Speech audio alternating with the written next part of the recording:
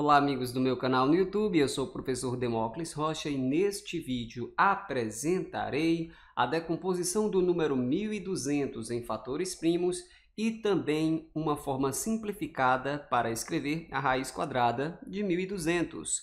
Se você apoia esta iniciativa, deixe o seu like. Se quiser ficar sabendo dos nossos próximos vídeos, inscreva-se no canal e acione o sininho das notificações.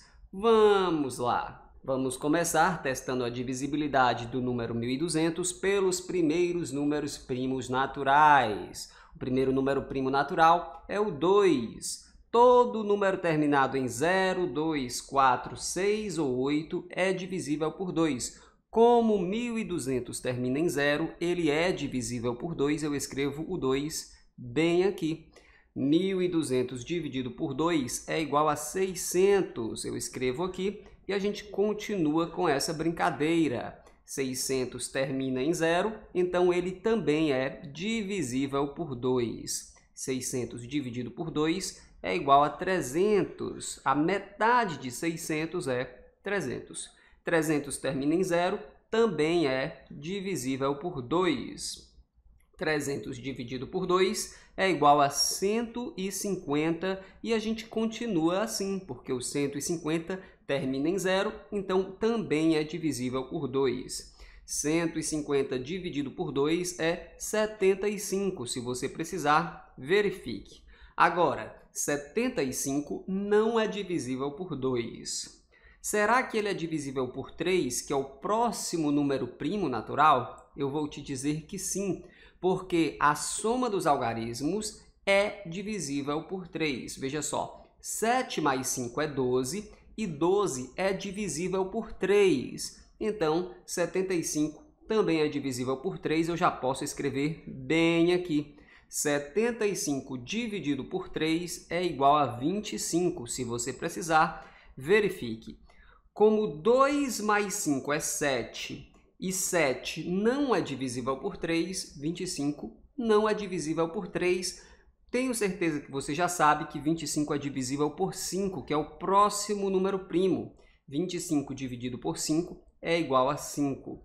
E o 5, ele mesmo é o número primo, ele mesmo vem para cá. 5 dividido por 5 é igual a 1. E esta parte acabou, pois no pé da coluna da esquerda apareceu o número 1 a gente pode concluir dizendo que 1.200 é igual a 2 vezes 2 vezes 2 vezes 2 vezes 3 vezes 5 vezes 5.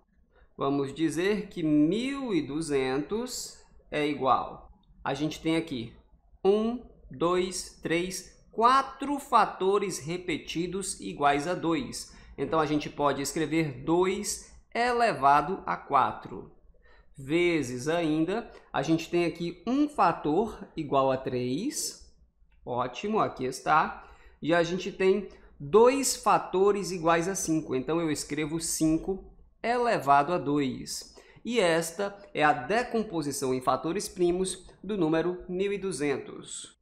Muito bem, está na hora de simplificar este radical, a raiz quadrada de 1200. Para fazer isso, já que a gente está trabalhando com uma raiz quadrada, isto é, uma raiz de índice 2, a gente vai agrupar os fatores repetidos de 2 em 2, observe. 2 vezes 2 eu vou escrever como 2 ao quadrado bem aqui, vezes 2 vezes 2 mais uma vez eu escrevo aqui 2 ao quadrado, vezes eu tenho esse 3 que aparece sozinho. E eu tenho aqui também 5 vezes 5 que eu vou escrever como 5 ao quadrado. Eu faço isso porque fica mais fácil para eu explicar para você que os fatores que aparecem ao quadrado dentro da raiz quadrada, eles saem perdendo o expoente. Veja só com o que a gente vai ficar. Esse 2 ao quadrado sai apenas como 2. Esse 2 ao quadrado sai apenas como 2. Esse 5 ao quadrado sai apenas como 5. E dentro da raiz ainda fica o 3. E a gente está quase terminando. Como 2 vezes 2 é 4 e 4 vezes 5 é 20, ficamos com 20 vezes a raiz de 3, que a gente escreve assim, 20 raiz de 3. Então, a raiz quadrada de 1.200 pode ser escrita de forma simplificada como 20 raiz de 3. Está na hora de dizer que este vídeo foi feito de coração para te ajudar. Se ele ajudou, você pode deixar um comentário com uma carinha sorrindo, você pode compartilhar o vídeo. A gente fica por aqui, um abraço e até a próxima. Tchau!